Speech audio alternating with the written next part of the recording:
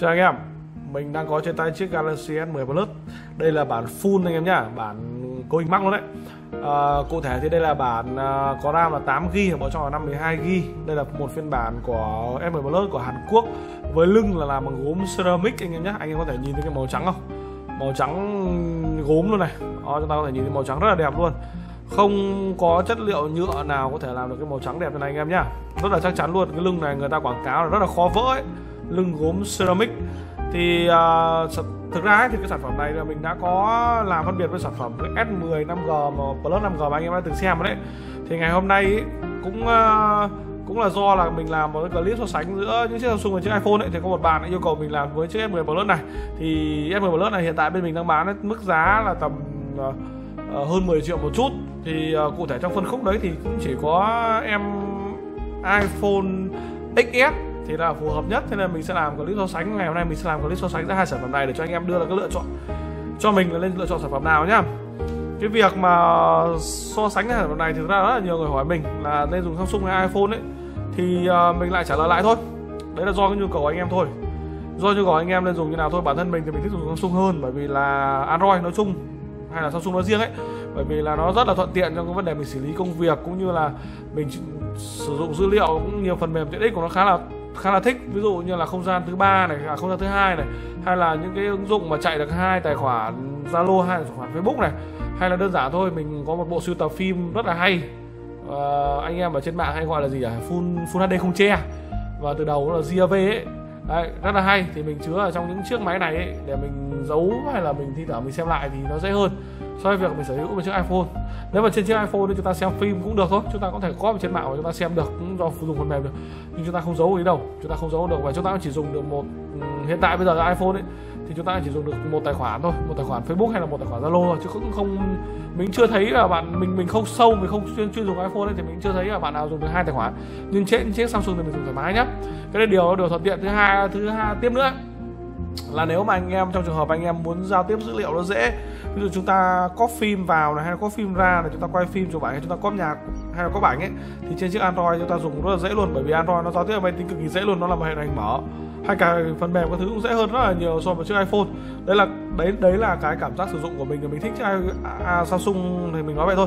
Chứ còn nếu mà anh em dùng thì anh em đều biết đấy, dùng iPhone rất là ổn định giá rất là giữ và nếu cầm trên tay chiếc iPhone thì chúng ta thấy nó rất là đẹp hơn rất là nhiều đúng không? Hiện tại trên tay mình là chiếc iPhone XS màu đen anh em nhé. iPhone XS thì nhìn màu đen thì cũng sơ sơ nó cũng giống giống với iPhone X thôi. Nhưng đây là chiếc một chiếc XS Đấy, giá của sản phẩm này hiện tại bên mình cũng bán tầm xem xem hai sản phẩm được xem xem nhau nó rơi vào tầm hiện tại mình đang nói cái ờ, với anh em hiện tại thời tại thời điểm bây giờ ấy, nó là tháng 2 tháng 2 năm 2020 20 ấy thì giá nó tầm khoảng 12 đến 13 triệu anh em nhé cụ thể là thay đổi như thế nào thì anh nhớ vào đường link mình để dưới mô tả hoặc là website bên mình là msm vn hoặc em gọi điện thoại trực tiếp cho mình được. Số điện thoại của bên mình là 2025 652 6789 nhá thì uh, mình sẽ trả lời cụ thể theo thời điểm cho anh em xem. Đó còn bây giờ anh em xem thì giá tầm tầm khoảng 12 13 triệu nhá.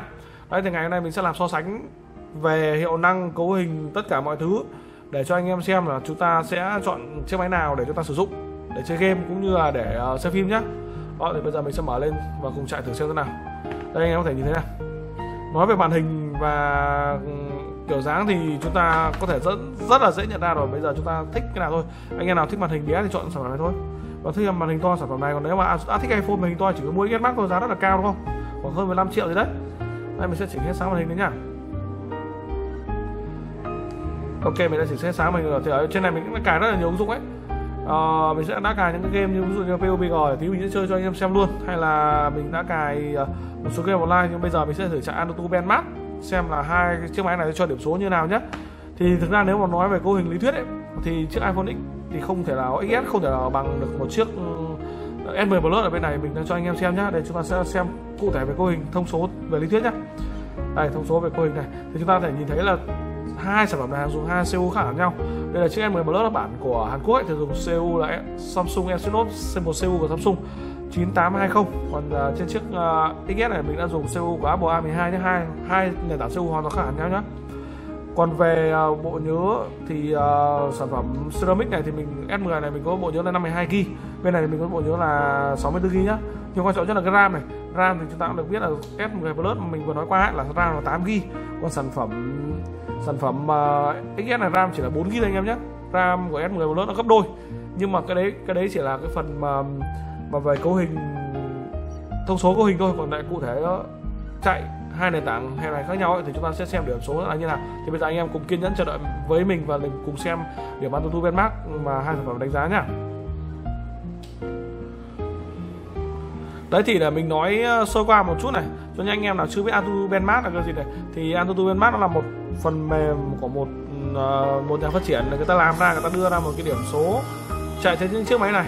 Thì họ sẽ cho chạy giả lập rất là nhiều thứ ví dụ như anh em giả lập xem phim ờ, hình ảnh 3D này giả lập chơi game này giả lập chạy uh, những tiện ích như là đọc báo rồi chơi game xem phim tất cả mọi thứ ấy để đưa ra một cái điểm số để xem theo thang điểm của tôi để xem những chiếc máy nào có hiệu điểm số là cao đấy nếu mà chiếc máy cao nhất thì anh em biết là chiếc máy nó hiệu năng rất là tốt đúng không? Còn chiếc máy nào điểm thấp hơn thì hiệu năng của chiếc, toàn bộ chiếc máy đó đều là thấp hơn. Thì bây giờ chúng ta cùng kiên nhẫn để chờ đợi xem nhá.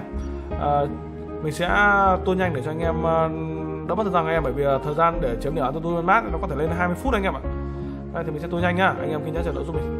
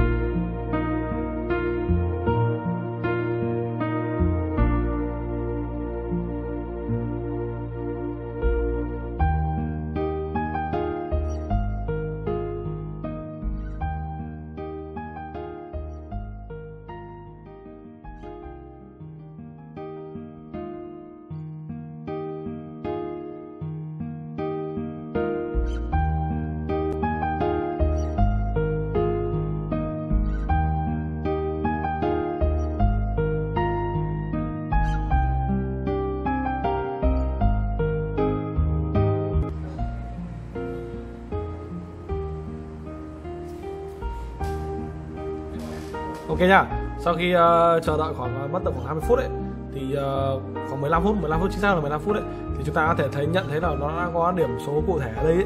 thì chúng ta có thể nhận thấy dễ dàng một điều là một chiếc iPhone XS có điểm số lại cao hơn một chiếc iPhone một chiếc Samsung Galaxy S10 Plus anh em nhé.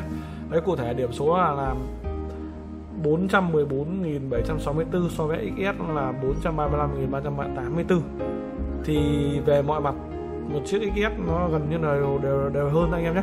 Ví dụ như là CPU này CPU của iPhone XS nó hơn điểm số so với CPU của Samsung Galaxy M lớp bản Hàn Quốc nhé. Đấy 118.695 so với lại 139.355 GPU cũng hơn luôn GPU là cái này hơn 17 nghìn hơn 170 nghìn cơ. Còn trên chiếc Samsung chỉ là hơn 160 nghìn thôi. Điểm mem thì trên chiếc Samsung tốt hơn. Bởi vì à, điểm em là gần như là cái điểm truy cập dữ liệu và loát dữ liệu ở trong bộ nhớ ấy đây thì có thể là chiếc S10 Plus này nó có chip của Samsung nó tốt hơn nó truy cập tốt hơn.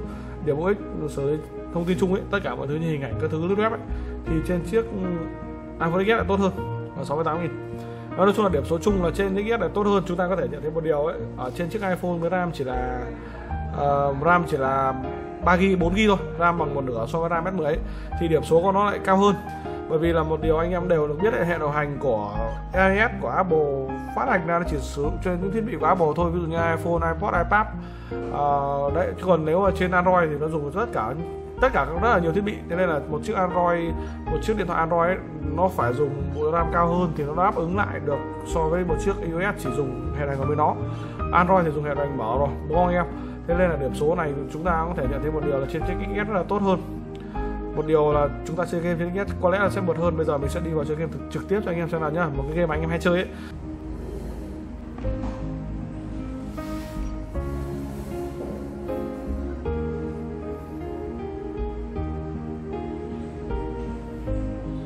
Đó. các bạn thấy gì không? Một chiếc iPhone loát game rất rất là nhanh luôn. RAM chỉ bằng nửa thôi nhá. RAM chỉ có 4 GB thôi. Trên chiếc em 10 RAM là 8 GB ấy. Loát game rất là nhanh luôn bây giờ mình sẽ vào mình chơi luôn. Ok mình sẽ vào mình chơi luôn.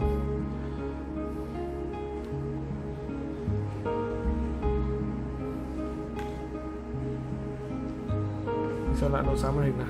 Ok hết cỡ rồi này.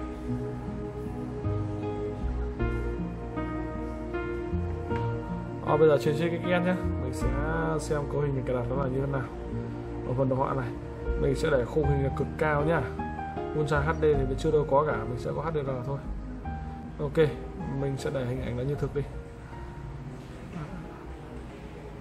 Gần như là max setting anh em nhá anh em nhìn thấy này.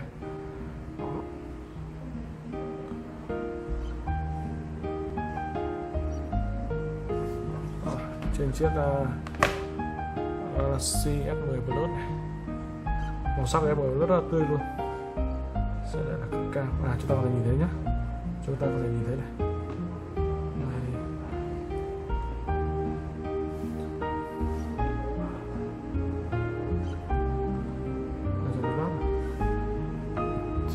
Sẽ không trả nên như thực này.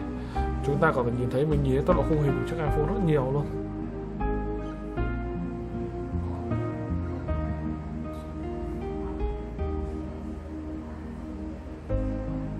Tí nữa mình sẽ vào mình xem cho anh em xem không vào được cái đó nữa đâu ok mình sẽ vào nó hơi bé chúng ta có thể nhìn thấy nhá thấp này trung bình cao này uh, cực cao và cực độ. Ở trên chiếc iPhone nó có phần cực độ ở trên chiếc Samsung này không có nhá bạn nó không có phần cực độ luôn. Đó là chỉ có phần cực cao thôi đúng không? Đấy, cả hai bay rồi nhá. ok thực ra trên chiếc XS ấy màn hình nó tương đối bé thế là thành ra bản thân mình thì mình cầm mà mình không thấy thoải mái mình cảm thấy hơi hơi hơi hụt hẫng còn nếu anh em là tay bé thì chắc là có lẽ là sẽ không vấn đề đâu. Còn trên chiếc Samsung thì bản thân mình đang dùng một chiếc Samsung và mình đang dùng một chiếc Galaxy Note 8 ấy. Thì mình chơi game game PUBG là mình cũng chơi thường xuyên, nhưng mà mình thấy là mình chơi rất là gá ấy. thì mình cảm thấy nó cầm, nó vẫn cứ thoải mái hơn so với một chiếc điện thoại bé như này. Đây và một số anh em là không thích tay tỏ thì không thích cái chỗ này luôn, đúng không? Đây, Galaxy S10 Plus anh em ạ. Galaxy S10 Plus thì nó nó to rồi, thoải mái rồi nhược điểm là nó chỉ bị mất một một một cái đoạn camera ở đây thôi. Chúng ta đã mất hẳn luôn chỗ phần số này này. Cái đấy chắc không ảnh hưởng đâu. Rất là mượt luôn anh em nhé. Cực kỳ là mượt luôn, thoải mái để chơi luôn.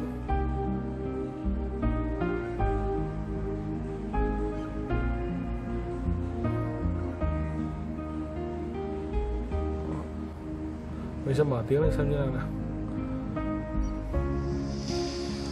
Đó chúng ta thử nghe âm thanh không? Thì sản phẩm này nó phát là hai loa một loa bên trên một loa bên dưới này. Nó phát hai loa luôn anh em nhé. Đây bên dưới này. Một loa này bên trên là một loa này. Đấy. phát là hai loa luôn chúng ta có thể chơi được hai loa luôn.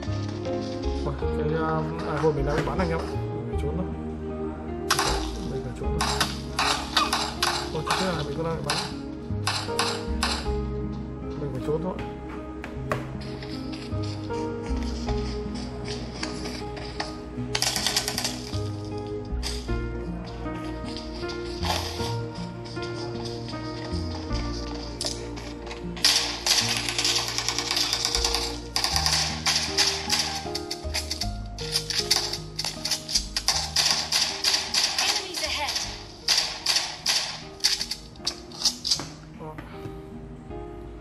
Chưa cứ chơi gà, nhưng mà những người đang bắn mình mình nghĩ có lẽ là nó là một con bot. Là một con máy chứ không phải là người thật anh em ạ. Thế là mình ờ, dù không có súng mình có giết được nó.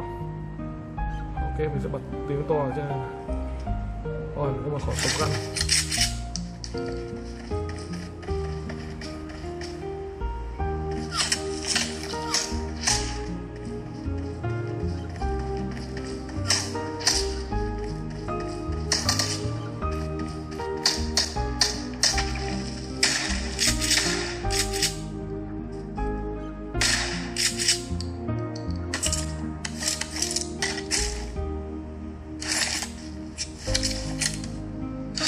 có trên chiếc iPhone X thì loa mình cảm thấy rất là chắc.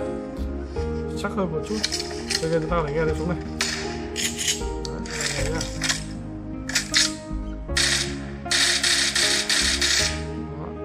Bây giờ nó sẽ nha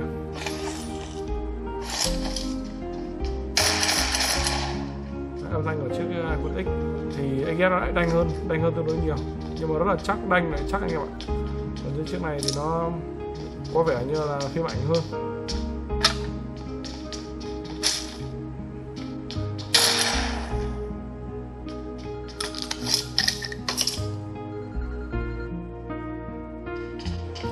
Đây, mình sẽ nhặt thử quả lựu đạn mình ném ra nào đấy nhá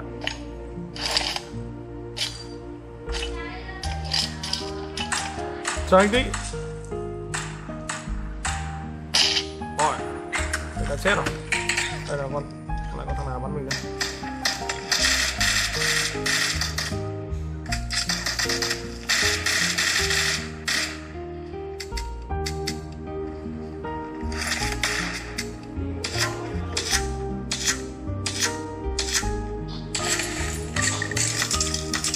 Ok các bạn thấy không? Trên hai chiếc máy này ấy thì cái vấn đề là chúng ta chơi game ấy thì chúng ta khỏi phải suy nghĩ luôn. Bây giờ cái quan cái cái cái quan trọng nhất là anh em chơi trên màn hình to hình bé thôi. Đó. Còn về tốc độ loát thì mình không nói làm gì đó loát game thì trên tất nhiên là trên chiếc iphone nó vẫn cứ ngon. Bởi vì là tất cả anh em có bây giờ có chơi giải game ấy, thì anh em vẫn chơi một tám lớp mà đúng không? À, hai siêu phẩm này thì mua để chơi game thì chơi iphone nó chơi vẫn được lâu dài hơn. Nên là vấn đề là vẫn, bây giờ mình nói như thế còn nếu mà thực sự anh em thích chơi to ấy, thì tất nhiên là anh em nên chơi cái này. Bởi vì bản thân mình vẫn thích mình to hơn mình vừa tự sát xong. Đấy nha âm thanh cũng rất là to. Ok giờ mình chết rồi. Mình thoát ra nhá. Ok bây giờ thì mình sẽ thử vào youtube để xem thế nào nhá. Hai sản phẩm này để cho anh em xem youtube thì quá là đơn bình thường rồi chạy rất là mượt rồi nhưng mà mình muốn xem thì xem là hình ảnh chiếc máy nào nó sẽ hiển thị đẹp hơn để chúng ta xem phim tốt hơn nhá. Hai màn hình đều là AMOLED. Đó, ok mình sẽ vào nhá youtube này. Bây giờ mình đã bật sẵn một cái phim đây rồi. À, mình đã từng bật sẵn một cái phim đây. Mình sẽ bật thử hai cái phim còn lại cho anh em xem như nào nhá. Ok chúng ta nhìn thế nào. Đây là phim Aquaman. Mình sẽ bật tiếng to lên xem nào. Đó chúng ta về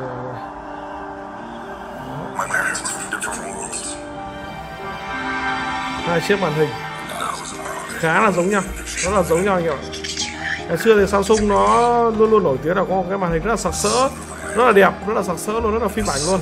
Nhưng hiện tại bây giờ Samsung từ cái dòng S10 đến Note 10 mới từng làm clip ấy, thì anh em có thể nhìn thấy nó rất là thật, đúng không? Đây là chúng ta có thể nhìn thấy này. Đều rất là đẹp luôn. Chỉ có một điều là chúng ta thích xem màn hình to và hay là màn hình bé thôi, đúng không? Nếu để chúng ta xem màn hình to trên chiếc iPhone thì chúng ta chỉ có thể chúng ta mua được chiếc iPhone XS Max hoặc chiếc 11 Pro Max thôi. Giá rất là cao so với chiếc 11 à chiếc ờ, S10 Plus, đúng không? Đấy, chúng ta nhìn đây. Rất là giống nhau luôn nha đó các bạn nhìn thấy này. Đó. gần như là tương đồng với nhau. Xem youtube rồi hay là tất cả những cái ứng dụng giải trí bằng phim ảnh âm thanh thì chúng ta không phải suy nghĩ là đây hoàn toàn là những sản phẩm có cái loa rất là hay nhá. iPhone XS mình cũng thấy rất là hay này. Cũng phát trên hai loa này. À, chúng ta thấy đây. Hay là trên net 10 Plus là cũng phát trên hai loa luôn. Đó. Rất là hay rồi bây giờ mình sẽ không nói gì nhiều, nhiều về phim nữa nhá. Mình sẽ thoát ra này cái mà anh em cũng hay dùng nhất với những siêu phẩm đấy đó là máy ảnh, đó là camera. Thì bây giờ mình sẽ cho anh em xem những cái bức ảnh này em tự đánh giá nhá. Anh em cùng xem một vài phút với mình. Bây giờ anh em có thể tự lựa chọn là xem là máy nào chụp đẹp hơn và máy nào có camera tốt hơn, tùy mọi người tự cảm nhận nhá. Chúng ta sẽ cùng xem một vài phút.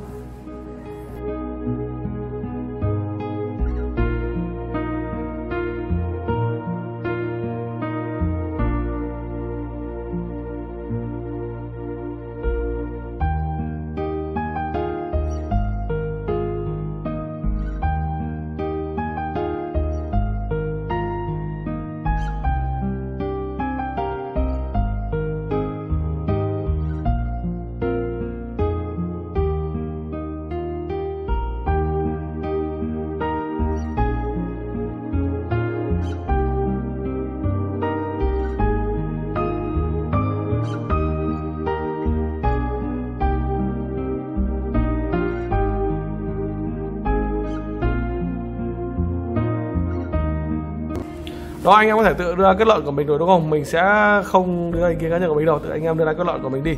Và anh em có thể tự nhận thấy là bây giờ mình nên chọn chiếc máy nào đúng không? Nếu anh em thích màn hình to thì anh em cứ chiến máy này thôi. Thích giao tiếp dữ liệu thích làm công việc nó thuận tiện hơn thì anh em cứ sử dụng này. Nếu anh em sợ bị mất giá ấy, thì anh em có thể lựa chọn một chiếc XS bởi vì mình phải nói thật với anh em này tại thời điểm hiện tại hai chiếc máy này với cái giá là xem xem nhau tầm khoảng 12 đến 13 triệu một năm sau thì mình nghĩ có lẽ là XS sẽ có giá nó vẫn cao hơn chiếc S10 đấy. Năm sau thì có thể là S20 à, ờ, nhưng cũng đơn giản thôi. Nếu mà anh em đã từng mua máy bên mình anh em có thể qua bên mình để mình hỗ trợ lên đời nhá. Mình sẽ tính giá nhập lại nó rất là cao luôn và mình sẽ mua lại à, bán ra cho anh em chiếc máy kia với giá rất là ưu đãi. Giống như Samsung người ta đang làm với chiếc chiếc Note 10 anh em có một chiếc iPhone Samsung cũ anh em qua anh em đổi với chiếc Note 10 ấy, thì giá bên mình rất là tốt có thể trừ một vài triệu. Thì tương tự như vậy mình sẽ hỗ trợ anh em đổi với những chiếc S10 Plus này lên chiếc S20 hay là những chiếc XS này lên chiếc 11 Pro hay 11 Pro Max. Thoải mái luôn anh em nhá. À, để mua hàng với mình thì anh em có thể vào website của mình là mở vn để đặt hàng hoặc anh em qua trực tiếp địa chỉ bên mình là 170 lệch chay anh em có thể gọi điện cho mình theo số điện thoại 025 652 6789 nhá. Anh em xem clip này của mình thấy hay anh em cho mình một like nào. Còn nếu anh em muốn yêu cầu mình làm bất cứ một cái gì ấy ví dụ là so sánh cái này so sánh cái kia hay là phân biệt hướng dẫn cho anh em cách nào cài đặt cái gì thì anh em cứ comment bên dưới để mình sẽ làm cho anh em nhá. Subscribe để theo dõi mình. Subscribe để mà biết là mình sẽ ra những clip nào và được yêu cầu bên mình là mình sẽ hỗ trợ anh em là như nào, được mua hàng của mình với mức giá tốt nhất. Các anh em chờ clip nha chào và hẹn gặp lại anh em trong clip sau.